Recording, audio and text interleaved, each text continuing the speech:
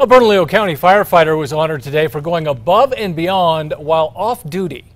It was like uh, shaking his hand with an angel, you know, it was just too much. I wouldn't be here. All the doctors told me that, that I would not be here if it wouldn't be for that fireman that saved my life. It's a great story. 79 year old Jose Chavez was driving to work on I 40 near Carnuel last month when he had a heart attack and crashed into a semi. First on the scene was off duty BCFD Lieutenant Nicholas Lyon, who was on his way home.